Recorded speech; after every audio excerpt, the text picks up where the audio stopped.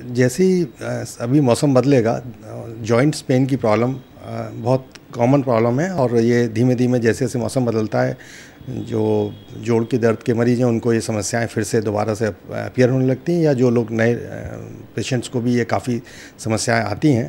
तो दो तीन बातों का विशेष ध्यान रखें। गर्म माहौल में रहें, ठंडे पानी से, नहाने से, ठंड में जाने से थोड़ा सा बचें।